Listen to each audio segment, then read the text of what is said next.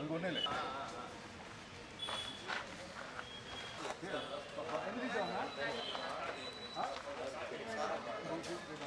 అయిపోయినా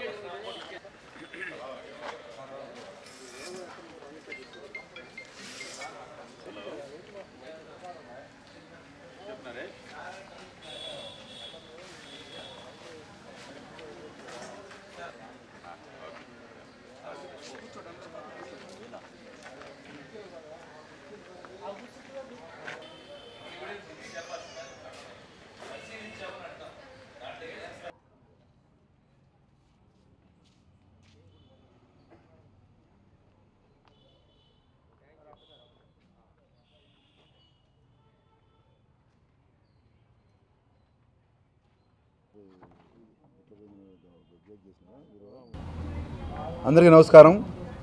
ఒంగోలు పట్టణంలోని బండ్లమిట్ట వద్ద గల బావుటా బీడీ కంపెనీలో పన్నెండో తారీఖు రాత్రి దొంగతనం జరిగినట్టు ఫాల్స్ కీ పెట్టి అందులో ఉన్నటువంటి ఎనిమిది లక్షల యాభై వేల నగదుని దొంగతనం జరిగిందని కంప్లైంట్ వచ్చింది.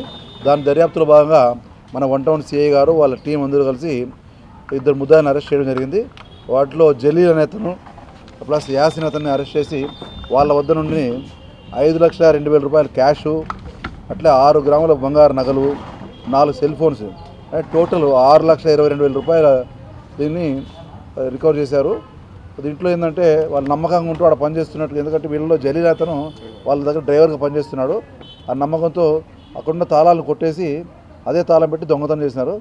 దీన్ని మన సిఐ గారు వాళ్ళ సిబ్బంది కష్టపడి చేశారు. వాళ్ళకి ఎస్పీ గారికి రివార్డ్స్ ఇవ్వాలని చెప్పి ఎస్పీ గారిని రిక్వెస్ట్ చేస్తున్నాం. కాబట్టి అయితే మేము విజ్ఞప్తి ఏమంటే తాళం చెరువు ఎక్కడెక్కడ పెడుతున్నారు అవి జాగ్రత్త పెట్టుకోవాలి. లేకపోతే దొంగలు ఎప్పుడోసారి ఆరు నెలలకు సంవత్సరాలకు మళ్ళీ దాన్ని వాడి దొంగతనం చేసే అవకాశం ఉన్నాయి పొరపాటున తాళాలు పోయిన ట్రేస్ కావాలంటే మనం కొత్త లాక్ పోవడం మంచిది. Thank you.